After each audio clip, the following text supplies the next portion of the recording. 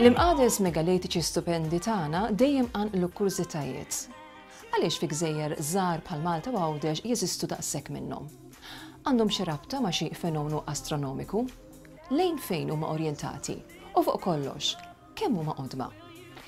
Pubblikazzjoni riċenti minn riċerkatriċi u kitiewa Olandiża mhux biss tistħarreġ dawn il-kurżitajiet, imma iċċaqlaq ukoll dak li nemmnu għax tieħu ċ-ċiviltà Maltija ta' żmien il-ħaġar lejn bidu wisq aktar bikri.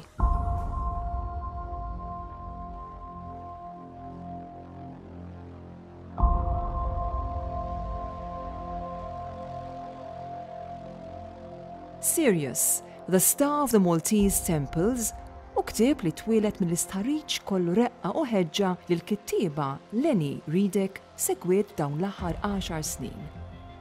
Ir-riżultati li kisbet jippreżentaw sorpriżi u jwarrbu kunċetti stabbiliti fix-xjenza tal-arkeoloġija. Din il-pubblikazzjoni ta' The Mallet Books, l-Olanda, tressaq teżi li tisfida l-konklużjonijiet stabbiliti tal-kultura megalitika tal-gżejjer Maltin. Bit-teorija tagħha, Leni Riddick tieħu l-eqdem maqdes ta' Malta, Ħaġar Qim, għal madwar 9150 sena qabel Kristu. Fid-daħla, L-Imħallef Doctor Giovanni Bonello iddeskriva din il-pubblikazzjoni bħala waħda disturbanti.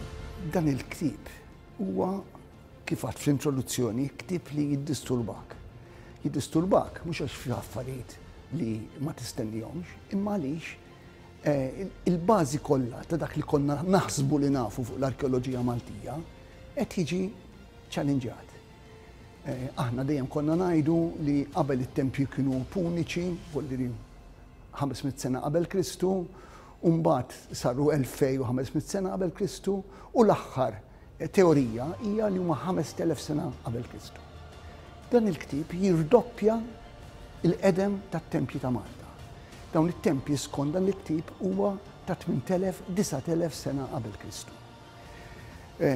Dan jirrivoluzzjona mhux biss l-arkeoloġija ta' Malta imma anke l-arkeoloġija tal-Mediterran u tal-Ewropa. Għandha raġun l-awtur jew m'għandhiex raġun? M'iniex tekniku biżżejjed biex ngħidha, għax din tibbaża l-konklużjoni tagħha huwa fuq l-astronomija. Dawn it-tempji għandhom allineament ma' xi ħaġa, l-uniku allineament li jaqbel huwa mal-kewba Sirius imma f'tmintelef, disgħatelef sena qabel Kristu. Dan l-allinjament, skont l-awtur, huwa perfett u jirrikorri biss mal-kewba Sirius u mas-snin 8000 u 9000 qabel Kristu. Għandux raġuni jew le, inħallu f'idej l-arkeologi u l-astronomi.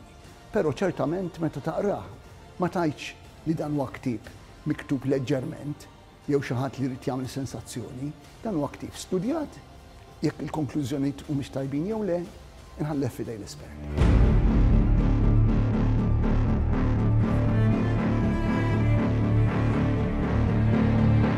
Fl-ewwel taqsima tal-pubblikazzjoni, Reading tanalizza bid-dettall l-uniċità tal-għamla u tal-istruttura, it-tifsila, il-ħitan ta' barra, il-kurituri, il-karatteristiċi interni, is-saqaf u l-qigħan tal-imqagħdes. Tirreferi għall-abitanti bikrin ta' Malta. Konna nżommu li f'ardna il-bniedem ma xerifx qabel xi 7200 sena ilu. Imma fdalijiet ta' għadam umani u ta' l-annimali, flimkien ma' artefatti, jindikaw preżenza bikrija. Il-kittieba tirreferi wkoll għall-osservazzjonijiet, stħarriġ ta' siti preistoriċi u rapporti li saru minn riċerkaturi barranin u anki minn xi Maltin, b'mod partikolari minn żmien Sir Arthur Evans sa John D. Evans. Issemmi l-ipoteżi inkorretta li l-espressjoni artistika tal-imqades Maltin tmur lura biss sa żmien il-Bronż u li kienet imnebbħa miċ-ċiviltà Griega. L-istudjuż Malti Temi Zammit kien sfida din l-interpretazzjoni.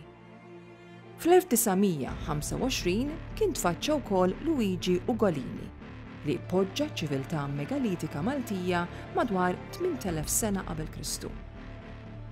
Hawnhekk il-kittieba toħroġ aktar tagħrif dwar dan l-arkeologu Taljan u l-epoka tiegħu permezz ta' djalgu li jnissel varjazzjoni u ħajja fin-narrattiva.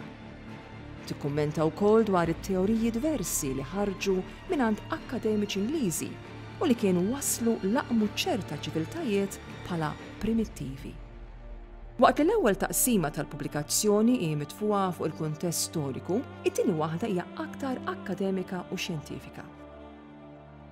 Hawnhekk Lenny Riddick tifrex sewwa t-teżi tar-rabta bejn l-imqagħdes Mekalitiċi ta' Malta u l-beraħ tas-smewwiet. Flok primittivi, niesna kienu astronomi bikrin.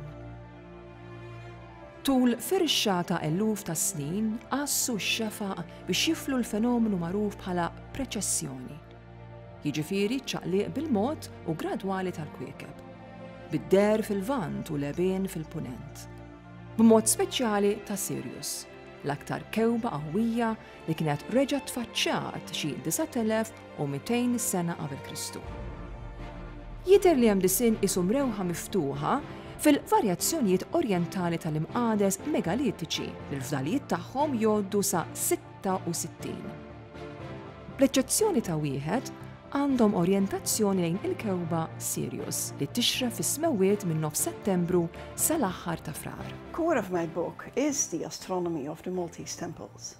It solves two important questions. First, Why were so many temples built? More than 60 of them have been recorded. And second, why have no two of them exactly the same orientations? The uh, first archaeoastronomers in Malta 30 years ago were George Adjus and Professor Frank Ventura. And they were true pioneers who did a great job in calculating all the orientations. They also concluded that there were no, they were not simply random. That means that some principle must have been behind them. The discovery of this principle is the center of my book. It is called precession, which is a very slow movement of the rising and setting points of the stars along the horizon caused by a wobble in the Earth's axis. This movement has a cycle of 26,000 years, and it means that if a temple is built to a given star, after a while, the star will have moved out of the line of sight of your temple, which then creates the need for a new temple with a slightly different orientation. And this exactly is what we see in Malta. The question is now what star could this be? With the help of a computer sky program, I discovered that only one star came into view of all the temples. It was Sirius, which is the brightest of all stars by far. It first became visible in the Maltese sky around 9400 BC and very soon afterwards it became the focus of the first temple builders. It is possible to date all the Maltese temples quite accurate, accurately according to the rising and setting points of Sirius as the millennia progressed.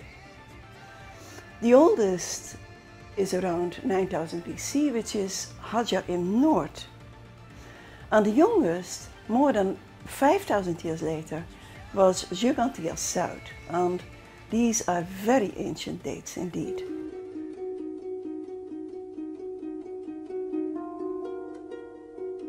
Leni Riedig tiddata l-imqagħdes megalitiċi ewlenin skont it-teżi tagħha, dejjem bħala osservatorji orjentali lejn il-kewba leqqiena Sirius. Telgħu tul medda twila ta' snin. Skont iċ-ċaqliq ta' Sirius, ħaġar qim tela' xi 9150 sena qabel Kristu. It-tempju il-bikri ta' Tarxien jindika li imbena xi 9050 sena qabel Kristu. Il-maqdes tal-Lvant tas-Skorba telaq 8750 sena qabel Kristu u tibqa' sejra sal-aħħar maqdes li nafu li nbena għall-ħabta ta' 4250 sena qabel Kristu. Il-maqdes tan-naħa tan-nofsinhar tal-ġgantija li l-awtriċi ssejjaħlu il-Katedral tal-Imqades. My book challenges the dates given to the temples by archaeologists, as that's obvious, Therefore I expect a mixed response. In Holland it has been very positively reviewed. Uh, but since it was published until now, it has been totally ignored in Malta. It seems to touch a raw nerve. But I believe that when the general public gets to know the book, they will love it because it gives back to Malta its rightful place, um, its rightful pride of place, I would say, in human cultural history. And um, in the academic world, this will take time because daylene on dates arrived at by radiocarbon dating, but with this uh, technique you cannot date stone directly. There is no time here to, uh, to go into the details, um, but part one of my book presents a wealth of evidence to show that for the past century there has been a systematic attempt to keep the dates of, of the Maltese temples as young as possible, so that Crete could be called the cradle of civilization. When radiocarbon dating of materials uh, found inside the temples proved that they were much older than that um, and uh, than had been proclaimed here, then the next move was to insist that the Maltese temples were an isolated phenomenon outside the mainstream of human cultural development. But open minded researchers will discover in my book a mass of evidence to the contrary.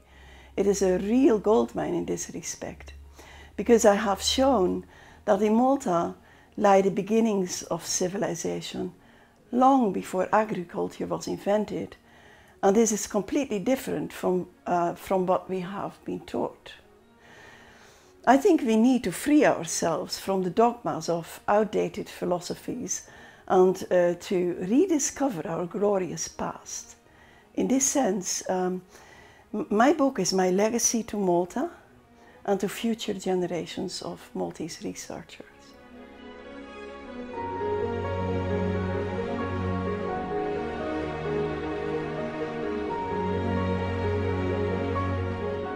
Kif rajna, il-preċessjoni turi li meta tarrex minn għada fissa fuq l-art tilmaħ ċaqli fil-firxa tal-kwieke. Iċ-ċaqli isseħ brata ta' grat wieħed fi 72 sena. U bit-teżi li tressa Lenny Ridik, żgur li ċaqlaq lil maqjat. tal-anqas fost dawk li dejjem ħaddnu fehmiet stabbiliti li tnisslu mis-seklu dsatax.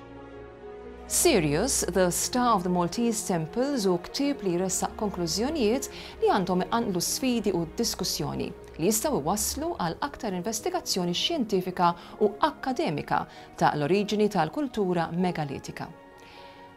L-arkeastronomija tista' tkun mezz effikaċi għal riassassar taċ-ċiviltà qadima ta' pajjiżna? L-esperti professjonali biss jistgħu jpoġġu lil Malta fiċ-ċentru kulturali li jixirqilha.